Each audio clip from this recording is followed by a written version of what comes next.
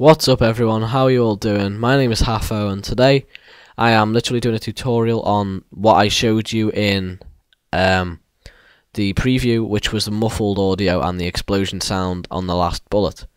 So what we're going to want to do is literally we're going to want to import a song and then we're going to find on the audio layer where we want to muffle it so you can just drag along it find where it starts. I've already pre um, synced this clip, so and this looks good like between shots, this muffled bit, as you saw at the beginning.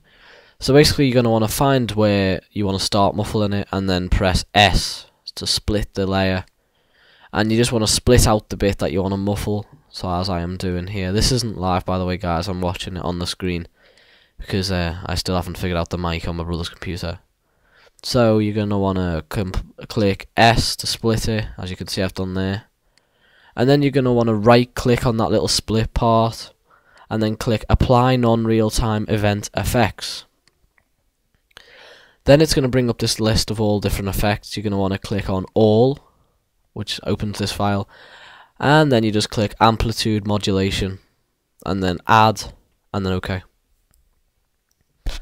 Then it's going to come up with all these different um, all these different effects, you're just going to want to turn the wet out to 24 decibels. You're going to want to tick the blend graph edges. You're going to want to turn up the mod frequency to 5000. Uh, you're going to want to turn up the stereo pan to 100.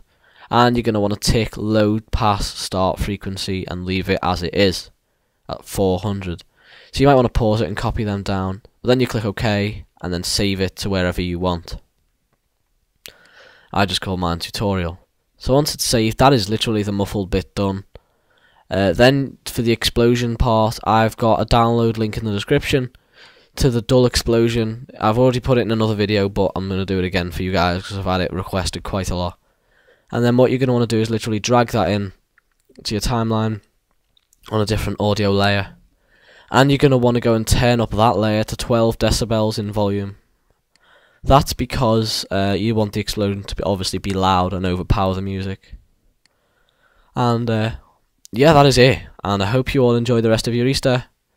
Um, and uh, if you found this tutorial useful, could you please give it a like? Helps me a lot.